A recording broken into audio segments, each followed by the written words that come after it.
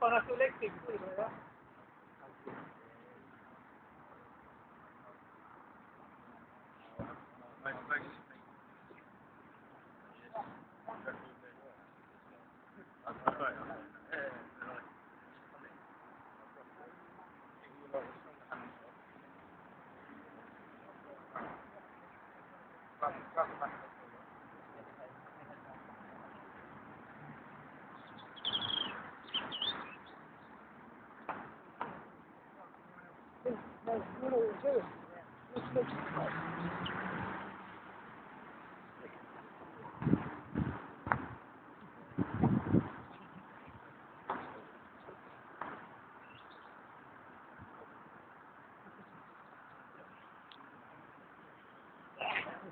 Thank you.